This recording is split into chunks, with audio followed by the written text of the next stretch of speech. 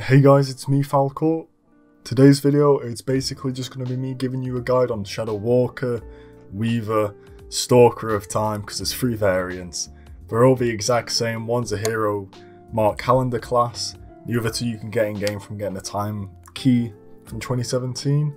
And yeah, I hope the guide's useful to you, so let's get into it.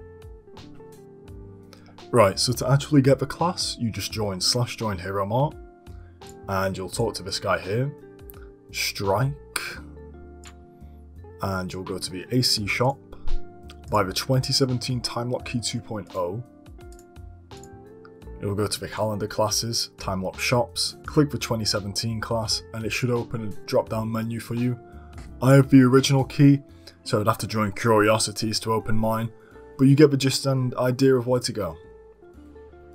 Right, so I'll give you a quick rundown of the skills as well. Um, this class is basically runs off dodge, chance, and crit, and DOTs, so everything kind of works together in a really nice combo. And let's start with the auto attack. This basically just gives buffs and debuffs for each time you use it, increasing um, hit chance, lowering hit chance, increasing dodge chance, lowering dodge chances. They stack up to 5 as it says here and last for 10 seconds, you don't need to worry about this too much. Now with number 2, Exude and Devour, um, it basically attacks multiple enemies and creates a DOT, however if you have your 5 skill active it will give you a heal over time which is nice as your 4 actually damages you for about 400 around my level. And your second skill is going to be Vendetta slash Umbral Stigma. It's a long range attack, deals enemy deals damage to one enemy. And it basically increases the damage they take, blah blah blah. And uh, yeah. Uh, number four, Silhouette Shadow Warp.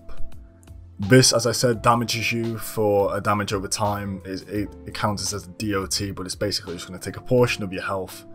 Increases your dodge chance by 300% for 4 seconds. Also focuses attacks onto you, kind of like a, um, uh, I, I forgot the word, but you know, like a roar in a game, where you train all the enemies onto you to attack you as a single target rather than your friends. And as it says here, if you have Temporal Eclipse active, you also gain back 30 mana, which is good, because this class really struggles with mana. Um, 5 Temporal Eclipse, this is where you're going to be getting your, uh, your big DOT nuke attacks coming in. And yeah, as it says here, uh, reducing three opponents' hit chances up by up to 30%, increases your crit chance by 80%, which is amazing. And um, also applies Turbulent Rift, increasing your haste by 30%. So all of these are great together. Right, so we're in the museum and I'll just tell you about the enhancements really quick. So we'll go to Artifact Quest, Armor of Awe, Awe enhancements. I want you to go full look with this build, definitely the best way you can do it. And Mana Vamp, I would say is necessary. It, you get a lot more damage off with Mana Vamp rather than waiting for your mana to recharge or using 5 and your 4 to get mana back. It just means you're getting more damage over time, more DPS, and overall Mana Vamp is probably the best option. If you don't have Awe enhancements, obviously just go full look, and when you do unlock the Blade of Awe, just pick up Mana Vamp for your weapon. Right, so now I'm going to try and show you the soloing capabilities of the class. Probably one of the best soloing classes in the game. Sometimes it does struggle with high damage enemies, like enemies which give you really high damage output.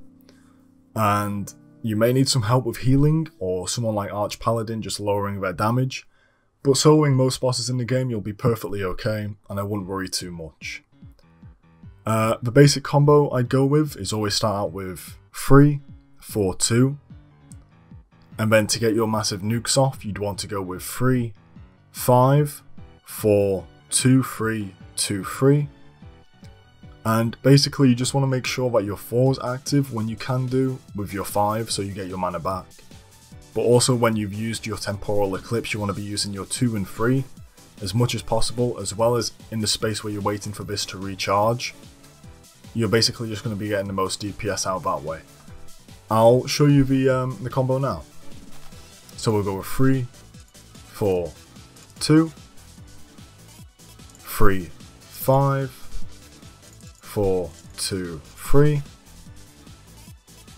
two, three. Sometimes you miss it, sometimes you don't. It's not too big of a deal. Uh, but um, yeah, it, as you can see, you get really nice DOTs, massive nukes, and overall, I think in a group of people, you can do really well.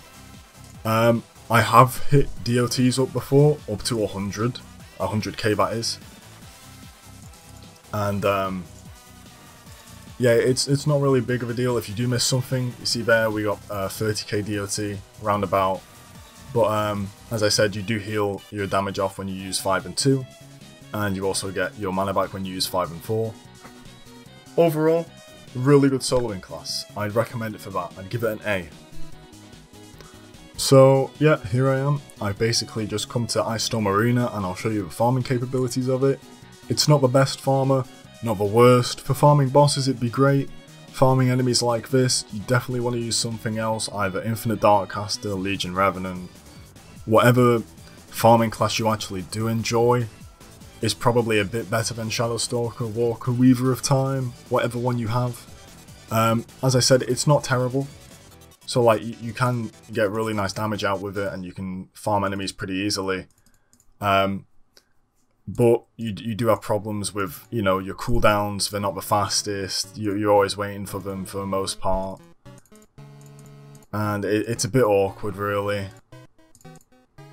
It's not terrible like I mentioned, but you'd really want to be getting something else just to get faster DPS and faster farming rates out. Overall, I think the class is somewhat okay in PvP, it struggles with things which obviously are better at PvP overall, such as Yami no Ronin, classes which have better dodge chances. Void High Lord, it has like no chance for the most part. But um, yeah, I'll, I'll show you some fights and I'll cut to them, speed them up for you, and yeah, I hope that it serves you well.